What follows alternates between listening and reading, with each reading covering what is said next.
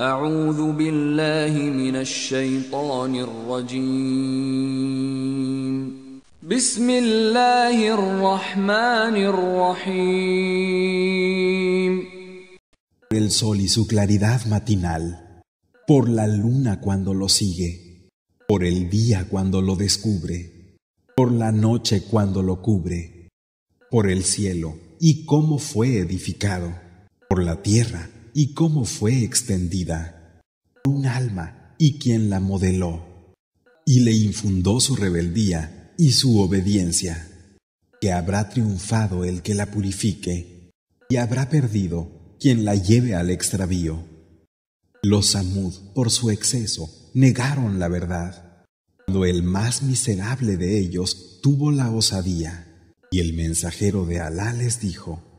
la camella de Alá y su turno de bebida. Pero lo negaron y la desjarretaron,